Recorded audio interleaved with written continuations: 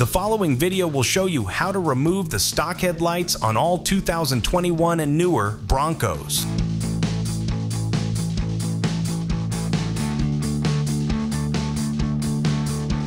All right, first thing we're gonna need to do to get our headlights off is remove this upper cover here on our radiator.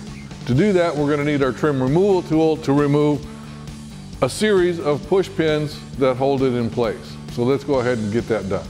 All right, so we've got nine of these push pins that have to be removed. So we're just gonna slip the edge of our removal tool underneath the top portion, lift it up, and then we can pull the rest of it out.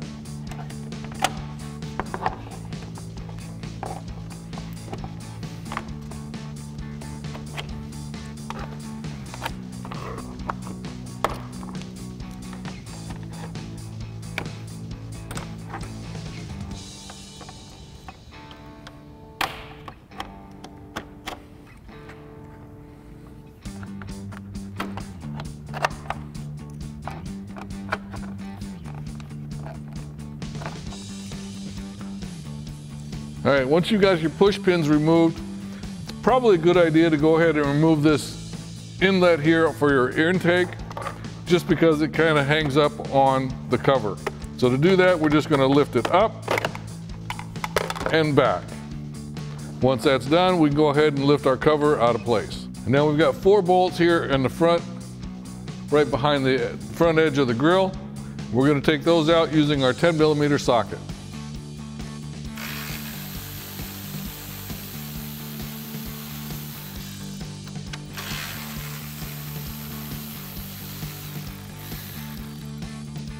Now, depending on your model of the Bronco, you may have a front camera and a washer for that camera. If you do, you'll need to pull this out gently so that you can disconnect the wire for the camera and also disconnect the hose for the washer. So we're just gonna pull this out slightly. Now we'll disconnect our camera here simply by pushing in on the release lever and pulling it out. Now we can go ahead and disconnect our washer hose. To do that, we've got one clip here. Just grab it on both sides and pop it off. We've got another clip here that attaches it to the wiring harness. So you just need to reach under, push that clip in and disconnect it. Then using our trim removal tool, unpop the Christmas tree connector here, and then finally we can disconnect our hose from the washer at the bottom. Now you want to be a little careful when you're pulling this off. Make sure that you don't break anything because it is plastic. And now we can go ahead and get our grill out of the way. Now the next thing we have to do, because there is a bolt at the bottom of our fender trim here, so that needs to come off before we can get to that other bolt. In order to get to this off, we have to take our fender flares off. It's a really easy process, no tools are required. There are five clips on the underside of our fender flare here. So we'll need to unclip those. It's a simple lever. I'll show you that when we get it off because it's hard to get the camera up in here. So we'll go ahead and take that off and then we can take off our front piece.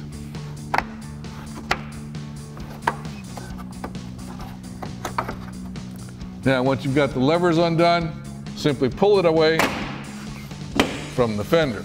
Now, here are the levers that we were talking about that have to be released in order to remove the fender flare. It's a simple lever, back and forth, all you have to do to be able to pull this out. Now, if you're replacing both headlights like we are, you'll need to remove the fender flare from the other side as well before we take off this trim piece. Now we can remove this trim piece across the front of the grill simply by grabbing the edge of it here and prying it away. There are no, no bolts holding this in, so it's just a matter of pulling and detaching it. Now we'll do the same thing on the other side.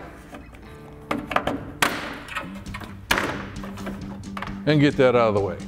Now this is the bolt that was behind that trim piece that we just removed. So we'll go ahead and take that out using our 8 millimeter socket.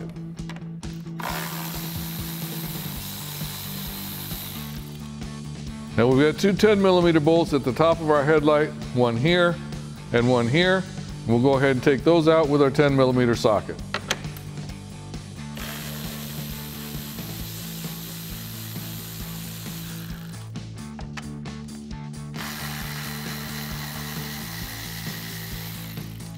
Now right next to this top bolt here on the outside of the headlight, there is a push pin that needs to be removed. So we'll use our trim removal tool, get, under, get underneath that, and pop it out.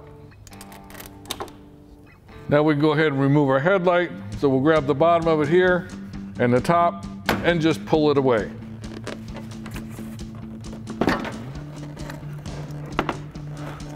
And once you've got it pulled away from the vehicle, we can go ahead and disconnect our harness here simply by pushing in on the black release tab and pulling it out. And now you can repeat that process for the other light. Thanks for watching, and remember, for all things Bronco, keep it right here at extremeterrain.com.